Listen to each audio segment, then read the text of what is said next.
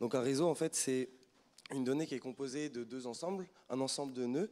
Donc en fait, sur ce graphe où on représente un réseau, ce sera les ronds, ce sont des espèces d'arbres, et des arêtes, qui sont des relations entre ces nœuds. Et euh, dans ce cas précis ici, c'est le nombre d'espèces de champignons euh, en commun, en coproximité. Euh, ça va un peu itérer.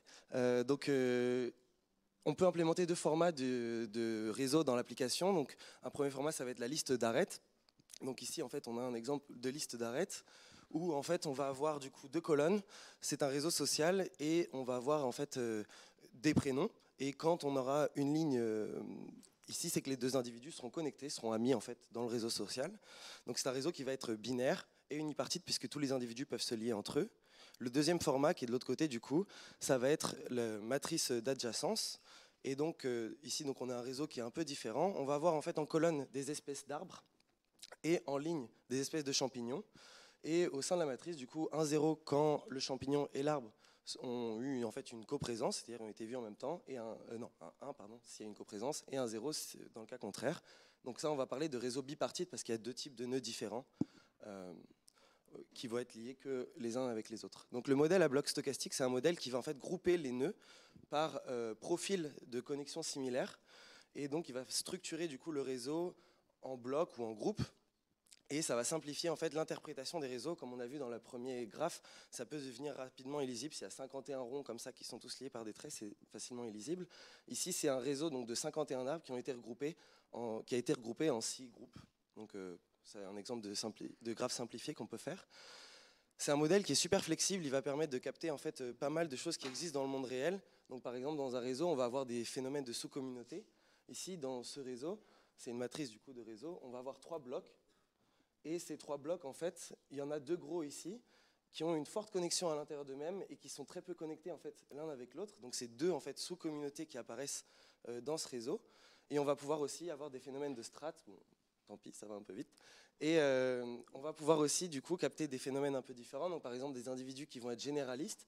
Ici, on va voir ce groupe de pollinisateurs dans cette matrice qui va être lié globalement avec la plupart euh, des espèces de plantes dans ce réseau alors que celui-ci est plutôt spécifique à ce groupe, donc on va pouvoir capter un peu ce genre de nuances. C'est un modèle euh, qui est en fait un modèle à variable attente, donc les groupes, on n'a pas d'a priori dessus, et euh, les blocs en fait vont être vraiment vraisemblables, c'est-à-dire que c'est des profils de connexion qui sont euh, vraiment significativement similaires.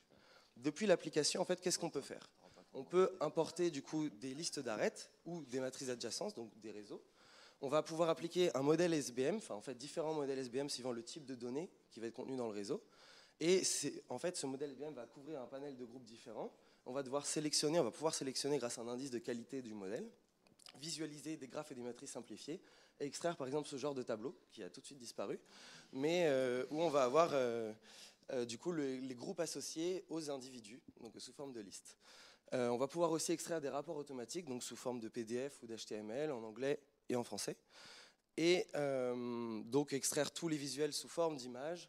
Euh, voilà, et on, je, on va, je continue à la développer, donc voilà, j'essaie de rajouter encore quelques fonctionnalités.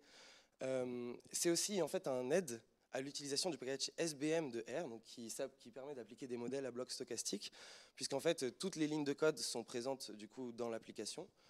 Pas encore toutes, mais c'est en chemin. Et, et, donc on va pouvoir apprendre en fait à utiliser ce package de ce point de vue-là. Donc pour résumer, du coup, c'est une application qui va concerner des données de réseau, qui va concerner des personnes qui sont plus ou moins novices en R ou qui souhaitent apprendre à utiliser le package euh, SBM, donc qui ont des données de réseau. En vrai, des données de réseau, finalement, c'est assez courant, donc euh, soyez attentifs.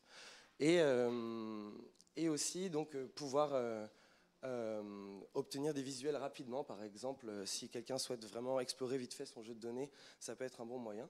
Et en fait, la plateforme, elle est disponible, enfin, l'application est disponible sur la plateforme Migal. Merci à eux de, me permettre de la déployer là-dessus. Et euh, tous les codes sont disponibles dans le registre de la Forge Mira.